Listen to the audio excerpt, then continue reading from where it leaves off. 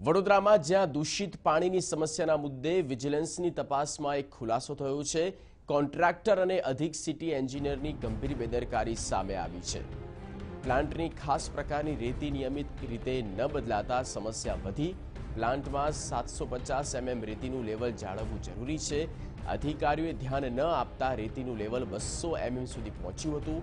Contractor દ્વારા ટેન્ડરની શરતોનું પાલન ન કરાતું હોવાનું સામે આવ્યું. નિમેટા પ્લાન્ટ પર પાણી લેબ ટેકનિશિયનનો પણ અભાવ છે અને કોઈ પણ જાતની પાણીની ચકાસણી વિના જ પાણી તે છોડતા હતા. કેમિકલના વધુ પડતા ઉપયોગને કારણે તેની આડઅસર શહેરીજનો પર પડી છે. અધિકારીઓ અને કોન્ટ્રાક્ટરોએ શહેરીજનોને આરોગ્ય સાથે ચેડા કર્યા છે. સંવાદદાતા અમિત પટેલ અમારી મારી સાથે લાઈવ જોડાઈ ચૂક્યા છે. અમિત, છેલ્લા ત્રણ દિવસથી આ મામલો સૌથી વધારે ચર્ચામાં રહ્યો છે. પાણી કાપનો અને મિશ્રિત પાણીનો અને શહેરીજનો ક્યાંક ભોગ બની રહ્યા છે. વાસ્તવિક પરિસ્થિતિ શું અત્યારે ઊભી થઈ છે? ટેકનિકલ ક્યાંક ખામીઓ પણ સર્જાઈ છે? ક્યાંક બેદરકારી પણ જોવા મળી રહી છે?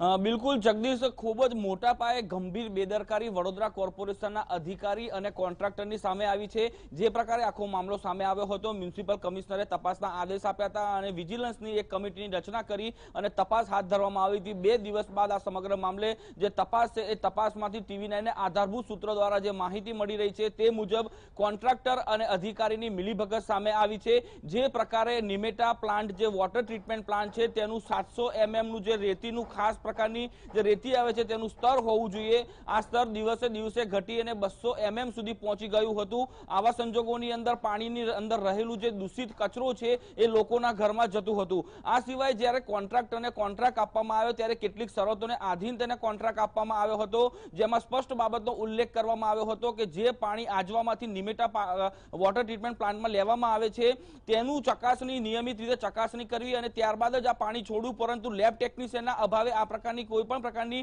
જે ચકાસણી છે પાણીની એ થતી જ નહોતી. એટલે ચોક્કસથી વાત છે, હવે જ્યારે બીજી સૌથી ગંભીર બેદરકારી સામે આવી છે કે રોજનું એકસો લીટર કેમિકલ પાણીમાં નાખી અને પાણીનું શુદ્ધિકરણ કરવાનું હતું, પરંતુ વડોદરા કોર્પોરેશનના અધિકારીઓની અણઆવડતના કારણે લગભગ એક મેટ્રિક ટન જેટલું કેમિકલ એક જ મહિનામાં વાપરી નાખવામાં આવ્યું. હવે જ્યારે જો પાણીની અંદર આટલા મોટા પ્રમાણમાં કેમિકલનો જો ઉમેરો કરવામાં આવતો હોય, તો આ પાણી આરોગ્ય માટે કેટલું ખતરનાક સાબિત થઈ શકે છે એ સમજી શકાય છે. અને બસ એક અધિકારીની આ ભૂલના કારણે, અધિકારીની આ નાની નિષ્કાળજીના કારણે આજે વડોદરાના લગભગ પાંચ લાખ લોકોને પાણી તો ના મળ્યું. દૂષિત પાણીના લીધે લોકો હેરાન પરેશાન થયા અને આ પાંચ લાખ વિસ્તાર, આજે પૂર્વ વિસ્તાર છે. પૂર્વ વિસ્તારના લોકો રોગનો ભોગ બન્યા. એટલે ચોક્કસથી કહી શકાય કે કોન્ટ્રાક્ટર અને અધિકારીની અણઆવડતના કારણે તેનો સીધો શિકાર વડોદરા કોર્પોરે, વડોદરા કોર્પોરેશનના પૂર્વ વિસ્તારના લોકો બન્યા છે. હવે ધીમે ધીમે જે વિગતો સામે આવી રહી છે. તે ખૂબ જ ઘોર બેદરકારીવાળી વિગતો આવે છે.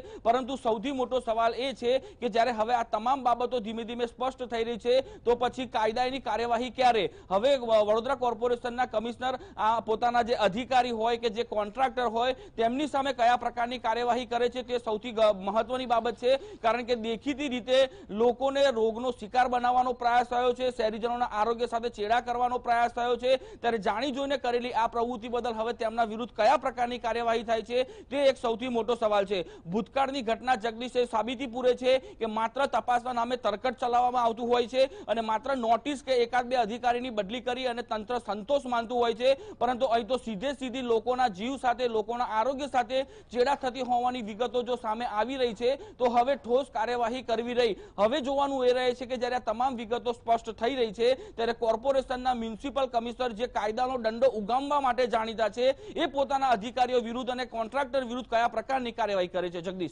જેમ જેમ કાર્યવાહી વધી રહી છે, તેમ તેમ ભ્રષ્ટાચાર પણ તેમનો ખદબદી રહ્યો છે. આભાર, અમિતા